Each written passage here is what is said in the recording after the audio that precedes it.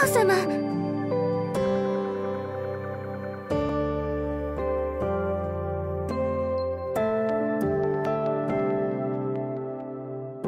私が八千代を自慢したいんだ。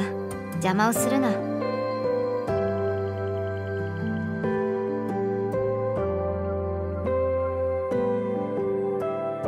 話を続けるぞ。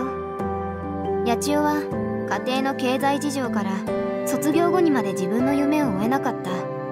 その辺の話は省くぞ。そして八千代はこうして私に仕えている。だがそのことを聞きつけたスタンレーは彼女の才能を少しでも生かしたかった。しかし八千代の性格上直接交渉しても無理だというのも分かっていた。だから私に交渉してきた。スタンレーは引き抜きの代償としてなかなかに高額の条件を提示してきた。だが金は必要ない。私はその条件を突っぱねた。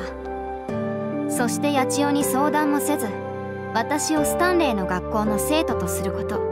そして私が入ることになる教室の講師とすることを条件に許可を出した。